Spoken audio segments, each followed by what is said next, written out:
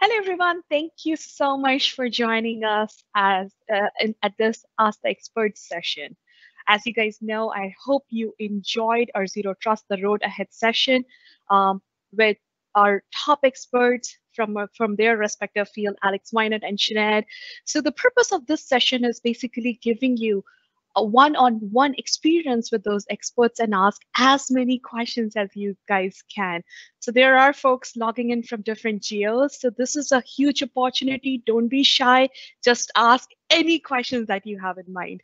So uh, before we can start talking about, you know, the questions and getting into the thing, I just have to give you some housekeeping rules, like how can you en engage with the experts? Just use chat to ask questions uh, because we have such a big audience, so many people attending. So the chat is the best way to feed in your questions. I will see the questions and then, you know, I will ask those to the respective experts. If there are if there are questions that, you know, that has been asked and we did not get to it yet, you can upvote your favorite question. That increases the chances. So if there is a question you definitely want it to be answered, use the upvote signs. They can experts will answer all the questions verbally or chat uh, as determined by the moderator. One thing I will tell you one more good news here. Not only I have two experts on camera, but I also have a bunch of really good experts across different teams off camera supporting this session as well. So bring out any burning question that you have. Um, Microsoft Code of Conduct, you guys are all, we are all very, you know, very professional. I just want to make sure that, you know, we respect each other, uh, we respect each other's uh, dignity and just ask the questions in the most appropriate manner. Um, so this session can be recorded, um, um, you know, uh, so don't worry about it. If there are any questions, just ask and adhere to Microsoft Code of Conduct. Um, with that, let me uh, introduce you to our expert, Alex Weinert, the man behind our identity security at Microsoft, and Sinead O'Donovan, the powerhouse behind our Azure networking. So with that, let me transfer you to Alex. Alex, do you want to quickly introduce yourself?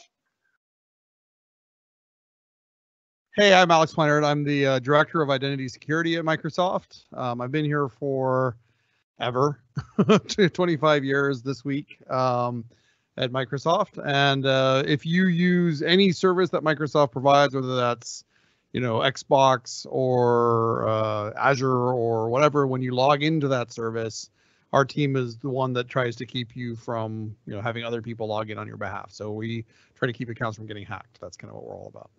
And I'm also one of the uh, sort of people who cares a lot about zero trust at Microsoft and uh, works a bunch on it. Thank you, Alex. Sinead, I know we have been having a lot of technical difficulties, so I would love if you can introduce yourself. Oh, yeah, absolutely. Um, uh, hi, everybody. Yes, I had a, a, a, little bit of a panic just before we started. I had to reboot my machine, but I'm here. Um, so um, I'm really delighted to be here this evening. Um, I work in Azure Networking. I lead our network security investments in Azure Networking as well as our CDN investments. And I'm super passionate about Zero Trust. And I really like it as a reference model that we can all use to make both our products better and make our customers more secure. So delighted to be here and welcome welcome your questions. Perfect. So looks like you guys are popular. I'm already getting tons and tons of questions. So uh, now this is a really good question. And I will ask, um, so Alex, can you move a little bit on this side? Your face is cutting off. Perfect. no, no, a little bit. That's good. Um, okay, this is a question that I would say both of you can take turn by turn. Uh, the question is, what is keeping you up at night these days when thinking about security? Sinead, do you want to kick that one off? Um, sure, I'm happy to. Um, uh, I think we've seen um, a continued change of behavior. I think the the bad um, actors they just get worse and worse and more sophisticated, um, and so I, I, I, definitely worry about us keeping ahead. And if I just use an, uh, the COVID example, um, the recent example, we in DDoS, for example, we we saw like 50% increase in DDoS attacks, and and they they seem to be they they're varying in type and and and course. So I would say it's it's really about um, it, it, I worry about them get, becoming more sophisticated. And then I worry also that um, customers are overwhelmed with all of the security choices that they can make to protect themselves.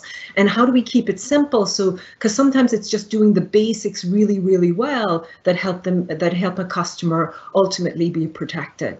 Um, Alex, do you want to add to that? Yeah, so I think for me, there's a couple of different things. The, the thing that springs to mind is you know, to a large extent, the thing that I worry about the most is just adoption of good practices now. And I think there's a lot of reasons. You know, there's uh, you know technical debt, and there are nervous, uh, you know, business teams, and there's lots of good, you know, lots of reasons that there's friction in terms of rolling things out. But at the same time, we're looking at like you know 14% of our MAU actually carries a strong auth token or an MFA token in a given month. I mean, that's a very low number considering the kinds of threats that we're facing. So I think adoption is a big thing. And I think we need to make adoption a lot easier. Um, things like security security defaults, um, the new work that we've done in conditional access to get the you know legacy auth turned off, and and the fact that um, our friends in the Exchange and the Office 365 team in Exchange Online are turning off um, some of the old insecure protocols. Um, you know, all those things are are big steps forward, but I think helping folks, you know, secure score things like that that help folks move forward in terms of their security journey are are really a big focus for us. Another big focus is that um, as we do get that strong auth adoption and and better, you know, better support for securing pathways um, and you know having better insights into what the traffic should be, we see attackers getting a little bit more innovative in terms of things like um, OAuth consent phishing and and you know, token theft and that sort of thing. And so I I you know I want to make sure that we invest to keep ahead of all of that. And so one of the things that Sinead and I work work on along with our peers at Microsoft is really trying to figure out ways that we can use the assets that we have. You know, so we have a lot of insight when we look at all the phish mail that Office detects, when we look at all the endpoint malware that Defender detects, when we look at all the traffic, you know, analysis that Sinead's team can do and all the identity analysis that my team can do, we can stitch that together, you know, we think to offer better protection. But it is always an arms race, you know, like the the thing is that, you know, we, you know, if, if our attackers don't succeed, they don't eat. Right. And so, you know, we we tend to be very uh very serious about trying to stay one step ahead. And so I think that's the other thing. So I think, you know, helping you use what we've already done and then helping make sure that we move ahead those are the things that I think about a lot. Seems like you're awake most of the nights. yeah, most nights. and those um, are the things, some of the things I can talk about, but mostly I can't talk about. That's true. okay, so we have tons of questions, and this is a really upvoted question. Um, kind of answered, but since I have you guys on camera, I would love your take as well. So the question is, remote access from non-company company assets has always been a challenge. Is the endpoint security managed? Is there already a keylogger installed? What is the zero trust approach for access from endpoints that you do not manage? So Sinead, do you want to take first crack again or? I'll let you go first this time. All right. So I think um, I think there's a couple of things here, and this is I think you know one of these places where business policy really matters. So how do I feel about people accessing this week's lunch menu from an endpoint that's not managed. I, am actually pretty okay with that. If you want to read about our standards of business conduct or our, um, you know, our like hiring guidelines or whatever, I think those things, you know, I worry less about. If you want to look at our, you know, Azure configuration stuff, then I'd say well, that's a little different, right? And so we sort of turn the dial, like at Microsoft, we turn the dial a lot between uh, the assets that are super secure they have to be really careful about, you know, going all the way up to the level of saying a SAW and a strong credential are the only thing that will get you in, and those those accounts and those devices can do nothing else. All the way down to, you know what, you can just do that from your home machine, and we don't really care because it's not something that we consider crown jewels. So I think that that ends up being a really important part of your story. Like you're going to have users who are going to try to access your environment from devices or from networks that you're not comfortable with, right? And then the hard part becomes being willing to say no, right? But I think you know if you can lead from that business policy, um, and then kind of work your way down to okay for this pathway, is it okay to say no? So if I were looking at an unmanaged device which may have malware on it, which may have a keystroke logger on it, you know, then I want to make sure that I'm backed up with things like multi-factor auth because of the keystroke logger. I want to make sure because by the way, a person can use a keystroke logger on a device whether it's managed or unmanaged and type that password. So don't think that that keeps the password in. Nothing keeps the password in. Passwords are terrible. Passwords are terrible. Turn on MFA, right? So if you have MFA, now you've covered that part. Now what about how does the data flow? Well, if you're using things like SharePoint limited access, now you can stop the data from flowing to that machine, right? Um, and so there's and you know things like MCAS where you can sort of limit the access. So I think it's about business policy first, and then using tools to gate the experience down to what's appropriate second. And being willing to say no ultimately if it's a if it's a significant enough resource then i think there's a point where you say no i need a managed device for that. Really good say um, there is an, another question alex and this is for you uh, probably. Um, can zero trust framework extend to your on-prem assets as well say homegrown or legacy apps or is it just for your cloud environments I think hundred percent. So the way that you, I think you should think of your on-prem or home homegrown or legacy assets is that you have many nodes of compute in the world, right? Some of those nodes of compute are now hosted in AWS or GCP or in Azure, right? So the each of these, and some of them are on, you know, legacy, you know, iron that's running in a closet on your on your corporate campus but they're all accessible on the internet, right? And they're, I mean, at, at, some level, there's a wire that gets to them. And so when you look at um, managing these things, I think you want to manage them to the greatest extent possible on a single control plane. Um, in for Azure AD, for example, you can use App Proxy to get access to your on-prem assets, right? And then you can you can model those exactly as though they're just like you know you got ServiceNow and Salesforce and Office 365 and that app that that you know fellow wrote over there back in 1972. The only issue is that those really old apps can be protocol difficult. So for authentication, they can be difficult. And so, you know, there's a tail that we're constantly chasing to try to get more and more apps included. So like header-based auth, we try to include, and you know, as we're going down that path, the the the thing is that if you have an app that is completely isolated, how do you protect that? And one model is to use, uh, you know, like virtual desktops to, to limit access that way and, and then control the network pathway very tightly. Another way to do that is to have, um, you know, like RDP, right? But you you still want to say that that point of entry is is controlled and monitored, even if you're into that really weird legacy stuff. And, uh, Go ahead. I would just add to, to just what um, Alex has said. Um, in terms of the, we provide a number of network controls as well um, to enable you to secure your access. And so most customers, for example, um, will put a set of infrastructure controls in place to sort of have a a defense in depth approach to how you're protecting the resource. Um, and so, for example, you can use your uh, your combinations of your firewalls and your VPNs as well as layers and, and also how you allow the app to be reached. Um, you can also set some of the routing controls so it's it's really not reachable. Um, so you, it's really a I what I would say all up is you want to have a, a combination of checks and balances to protect the access. Um, and and you, you you don't want it to be so ornate that nobody will use it. But likewise you do want to um, make sure that every part of the path you have a security mechanism in place to protect the the access. Very well said Sinead. thank you so much. Now this is an interesting one. Alex this question is mostly for you. Um, CA and the concept of zero trust is a cool goal, but is there a best practice way to start? Start with simple things with the with the most benefits. Is there some guidance to begin? You know, um, this is one of those. There's an old joke that says that you know a good question is a good question, but a great question is a good question for which I have a good answer. Um, so that's a great question because I think I have a good answer. Um, we've been working on some deployment guides so depending on the area of focus, so you know on where you are, um, if you go check out the, for example, the zero trust maturity model, or we have a zero trust, you know, networking deployment guide, identity deployment guide, device deployment guide. Those are all at aka.ms slash zero trust. Um, and you can kind of dig in there, and that's a pretty good place to start. Um, I'm a fan for identity because I'm an identity geek. Um, there's a document called Security Steps that also kind of lays out a bunch of, you know, good patterns to start with in terms of setting up a zero trust environment.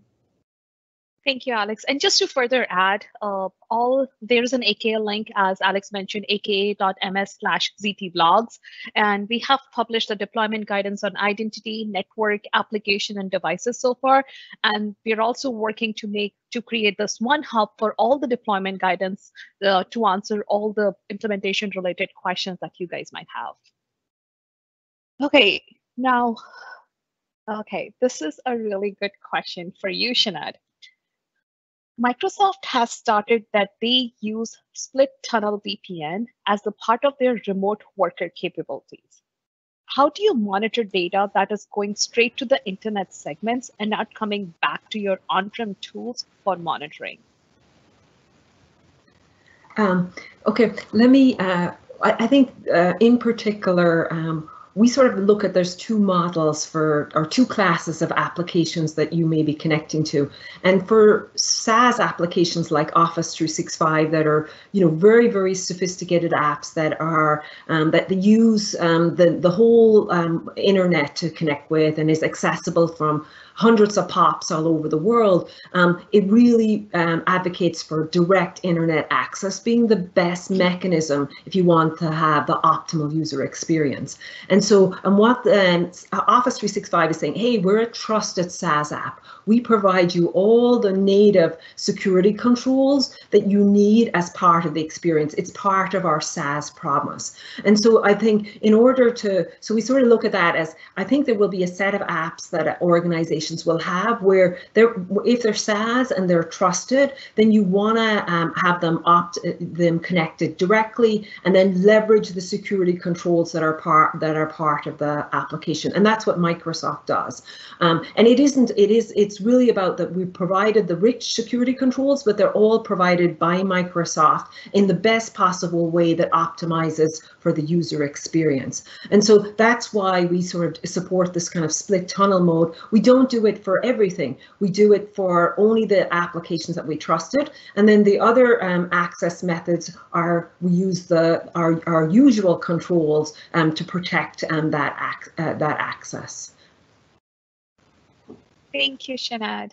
Um, Alex, you did mention you're an identity geek. Uh, seems like next question is an appropriate one. Um, can zero trust model extend to all my users? Um, I'm specifically talking not just employees, but partners, vendors, friends, and devices like printers, smart beds, conference rooms, etc. Is there a recommendation on that? Oh, I dig this question. This is so cool. Okay, um, so we just, I think at Ignite, just announced the fact that we are now supporting conditional access controls for all your users. So we have a, a support for partner users and um, also for B2C environments. So one of the big things that happened is the conditional access for external identities. I think Joy Chick announced that yesterday. Um, and uh, so that's kind of a big deal uh, that we're really excited about. Um, and then as far as the device work, we're doing a ton of device work right now. Um, the you know obviously with accounts that are using normal user accounts, there's some protections you can do now, um, but we're rolling in a bunch of work, and I, you know, we'll we we we generally don't do timelines until we're super close or we're in preview. Um, but we're doing work right now around uh, more device accounts and making big investments in the IoT side. Um, in the meantime, I think Sinead, I'm sure will have some strong opinions about some things you can do now using the networking technology to help protect those infrastructure investments. Um, it is it is a model. The zero trust model is one that extends, and it, and as we said in the talk, it's really important to start thinking about how you extend that model into your infrastructure investments.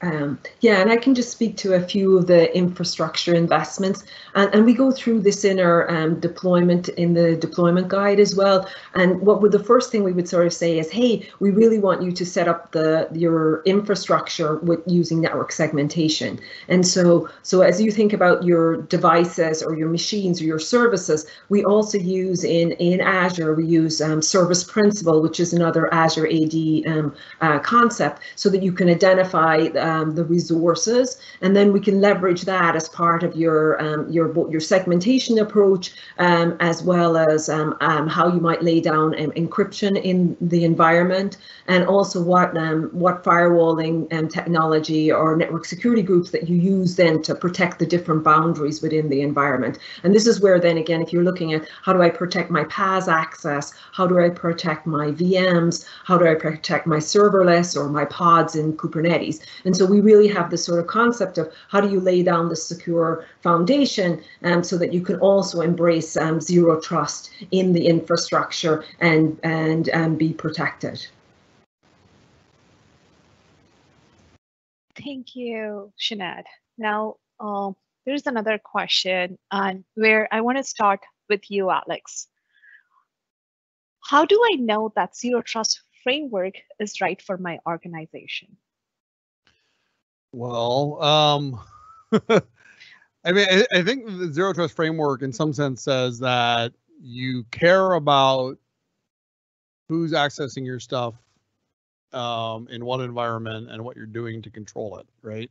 Um, and and and then importantly, the zero trust framework says that that applies equally to assets that are on-prem and in cloud, and that you and here's the important part that you're not going to infer a bunch of trust from any one element, right? So I think that you know zero trust as a set of security principles is is extraordinarily global in the current world. Like in a world where many people are working from home, you're not really in control of the network that they're on. You're not, you know, many people are using SaaS apps, so you're not really control the infrastructure that the app is running on, um, the pathway between your user, uh, the device they're on, and then the resource that they're going to all of those things are are surrounded in some sense by attacker landscape right? And so how do you know that the request you're dealing with is one that is valid? And the way you know it's valid is you check you look at artifacts about the request not just you know did this request come in from a certain network node or from a certain user but both of those things. And you know not just is it on a device that i know but you know rolling all those things together so you think about this as like i always think of this as a triangulation exercise if I want to know where I am, looking at one point, you know, gives me a certain amount of accuracy. But once, you know, think about like a GPS system, once you pick up like 12 satellites, you're very, very accurate.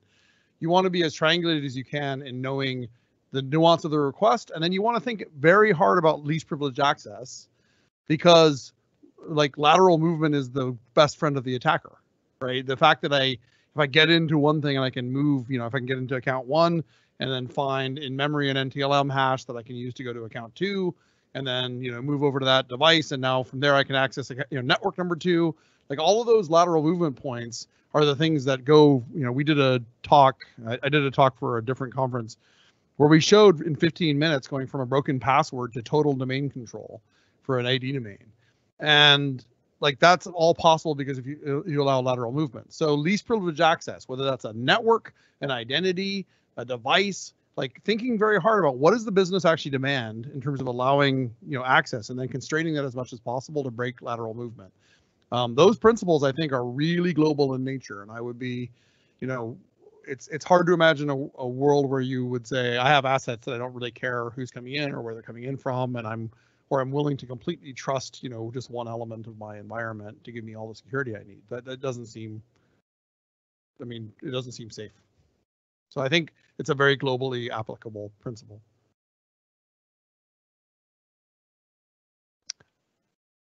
Nooper, you're, yeah. Uh, Sinead, would you like to add anything? Alex did touch on the networking aspect as well, but I know they are like two different, uh, seriously, many organizations have, actually most of the organization have literally two different departments operating that.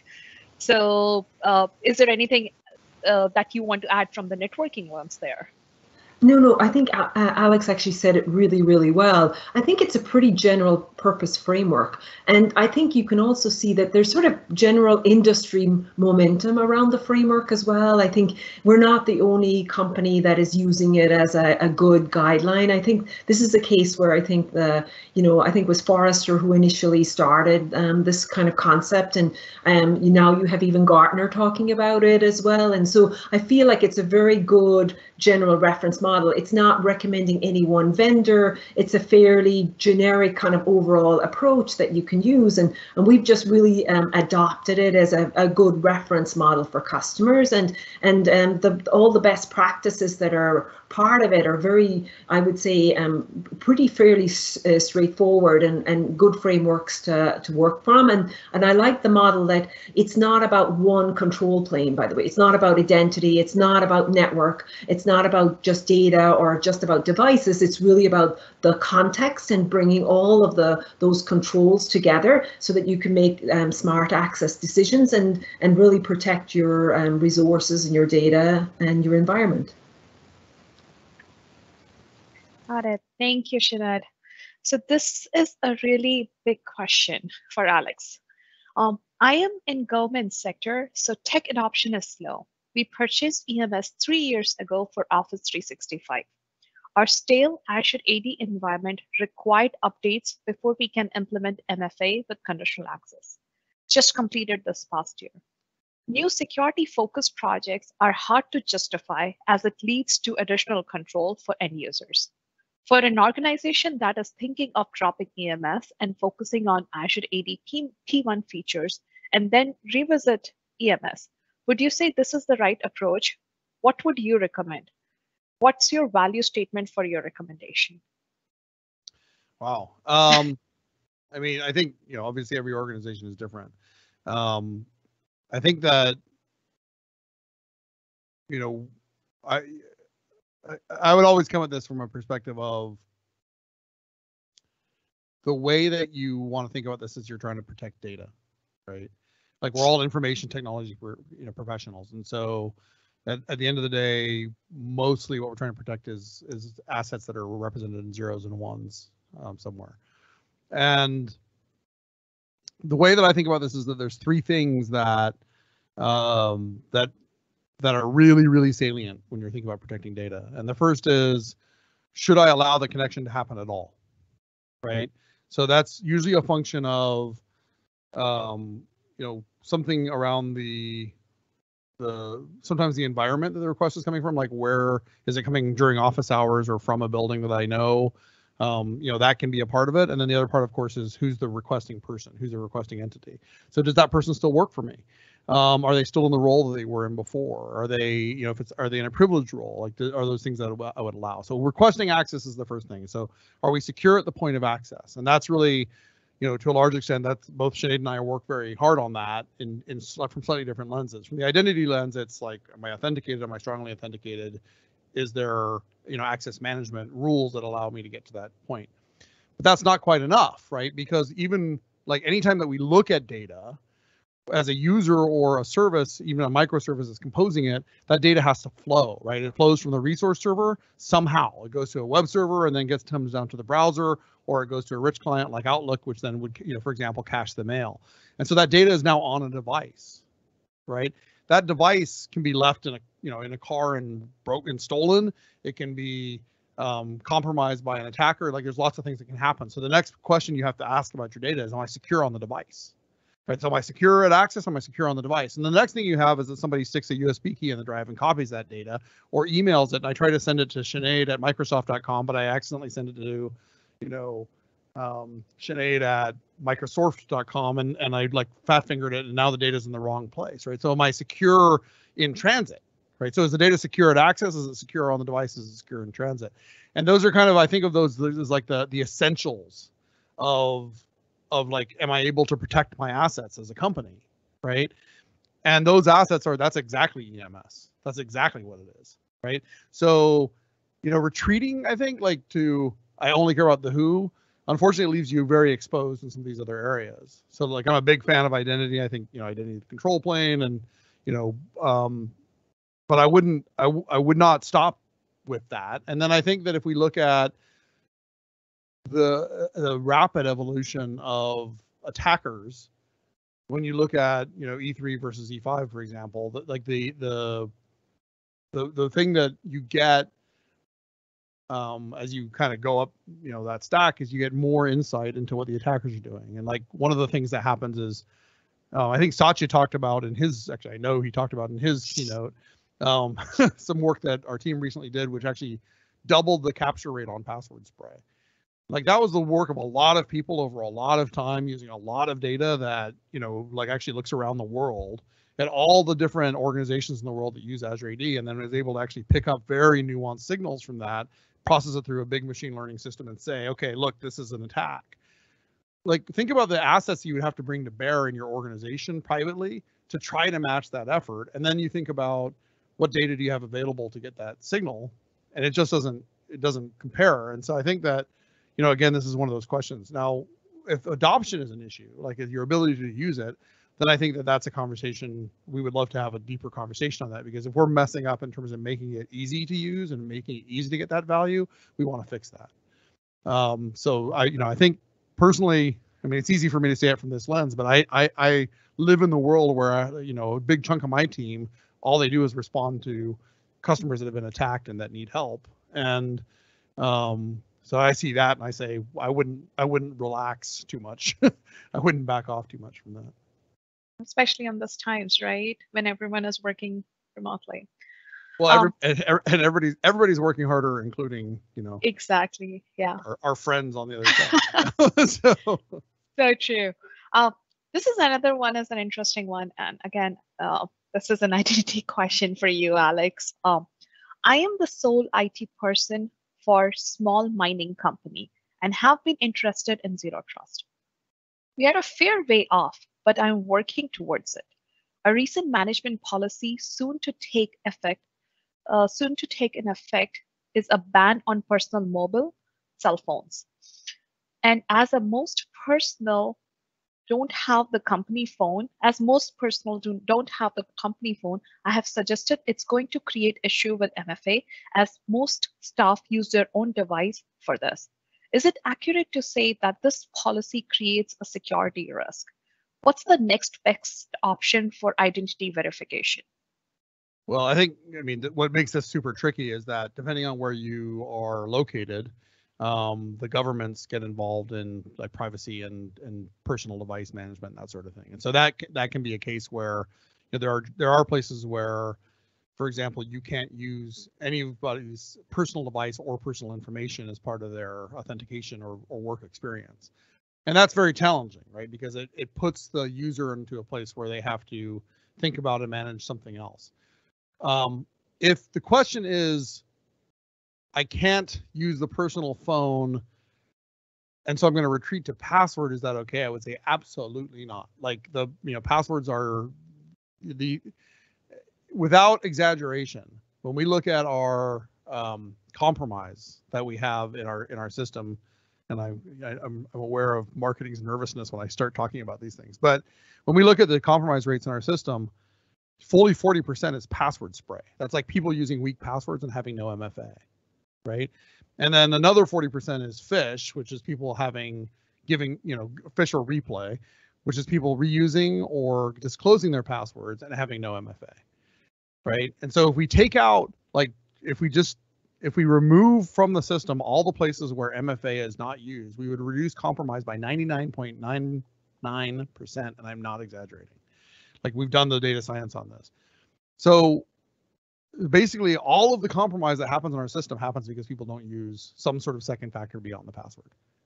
Right. So you got to do something if you're serious about security. The question is, what can you do if you can't use any personal devices?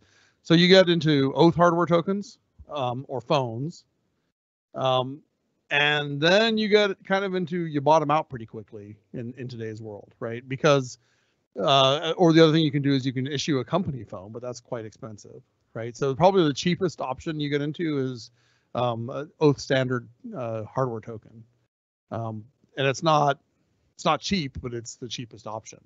Um, that's the kind of thing where somebody has a you know something on their keychain that has a six-digit code, and the company has to issue that to them. If they lose their keychain, you have to figure out how to reissue that to them. Like all those things are, are challenging. Um, so if you're in a jurisdiction where use of a personal phone is allowed or is allowed with user consent, I would look at this, you know, question of like, hey, user, would you like to use your personal phone? Because most people don't want to carry that extra token, right? And then, you know, you go from there to, okay, I either can't or they don't want to, and then you need to issue something else. But the cost of a compromise to a business is, you know, like tens of millions of dollars.